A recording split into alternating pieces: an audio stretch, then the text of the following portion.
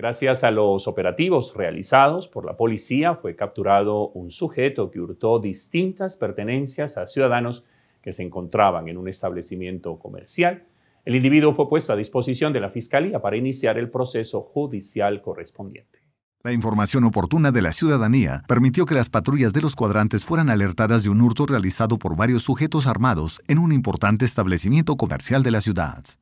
Unidades de nuestro modelo nacional de vigilancia comunitaria por cuadrantes, en articulación con la ciudadanía, lograron en las últimas horas la captura de un sujeto que participó en un hecho delictivo donde se despojan de sus propiedades unos ciudadanos y unos administradores de un establecimiento de comercio en la ciudad de Pasto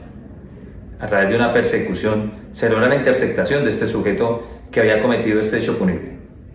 A través de una reacción rápida y un plan candado que hace nuestro modelo nacional de vigilancia comunitaria por cuadrantes, y a través del monitoreo que se hicieron no solamente por cámaras, sino por las indicaciones de la misma ciudadanía que había sido víctima de este delincuente, logran la captura de este sujeto.